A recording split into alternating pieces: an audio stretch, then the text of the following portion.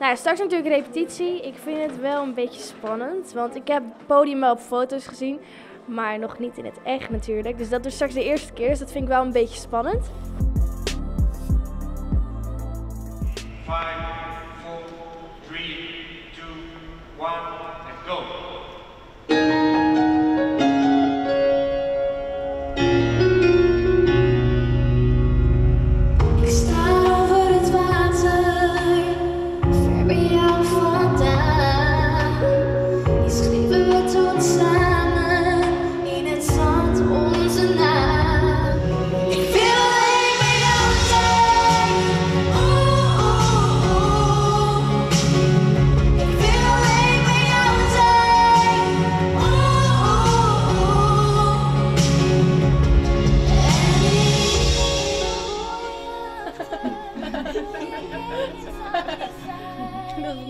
Ik vond het best wel spannend om eh, met Iners dan op het echte podium op te treden.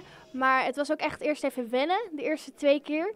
En, eh, maar ja, daarna ging het eigenlijk best wel goed. Voor mijn gevoel ging het optreden ging goed voor de eerste keer. Het was een groot podium en zo, maar het viel wel mee op zich. Het ging wel goed. Het is echt een gigantisch podium. Je moet, het is gewoon echt oefenen waar je moet kijken. Maar ja, het ging wel goed eigenlijk. Ik weet eigenlijk niet echt precies waar ik moet kijken.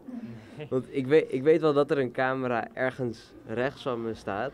Maar ja, ik kijk toch wel liever gewoon naar voor, denk ik.